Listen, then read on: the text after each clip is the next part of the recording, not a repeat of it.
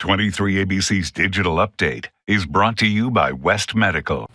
Good evening, I'm Alex Bell. Here's what's making headlines. An intense industrial fire erupted this morning in Compton. The flames starting at a pallet yard and then spreading to an area that housed dozens of school buses. Transformers sparking and exploding, causing powder, power outages in the area. Some truck drivers got blocked in because of road closures, and fire crews were able to keep the flames from spreading to nearby neighborhoods, but still it took them more than three hours to get control of that fire. Firefighters say there were some issues with water pressure, but at but that did get resolved. And with help from crews around the region, that fire was contained. Only one firefighter suffered minor ankle injuries, and no one was seriously hurt by the downed power lines. The cause of the fire is still under investigation. And the search is on for a missing 12 year old girl tonight. KCSO is looking for Christina Carreno. Her picture is up on your screen right now.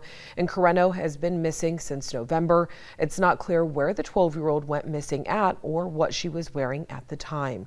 KCSO also says that she has black hair with blue tips and brown eyes. If you've seen her or you know where she might be, you're asked to contact KCSO. Their number is 661 861 3110.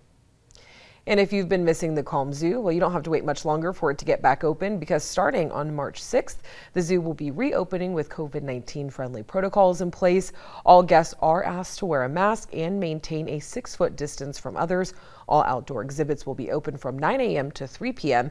And until Kern moves into the red tier, the indoor exhibits like the reptile house will remain closed. Brandon. A little bit on the breezy side for tomorrow, but very windy here tonight. We're seeing some gusts up to about 40, even 50 miles per hour in eastern Kern County. We do have a wind advisory in effect until 11 p.m. here this evening. Tomorrow, with those winds picking up out of the north to northwest, it's actually going to blow in a little bit of cooler air, so we will cool down back into the 60s, the lower 60s for the desert. Some of our mountain communities topping out only in the 40s and 63 your high temperature in Bakersfield. Plenty of wind in the forecast, off and on breezy conditions. Temperatures, though, increasing as we head into Sunday and Monday. Sunday. Plenty of sunshine still, at least a small chance for some rain as we head into next week, but it's not looking as promising as it was just a few days ago. So cross your fingers. We really do need some of that rain or the drought conditions are going to continue. Again, lots of wind for our mountain communities. And then finally, we start to calm down a little bit all late next week. And that's your latest update. Have a great Friday.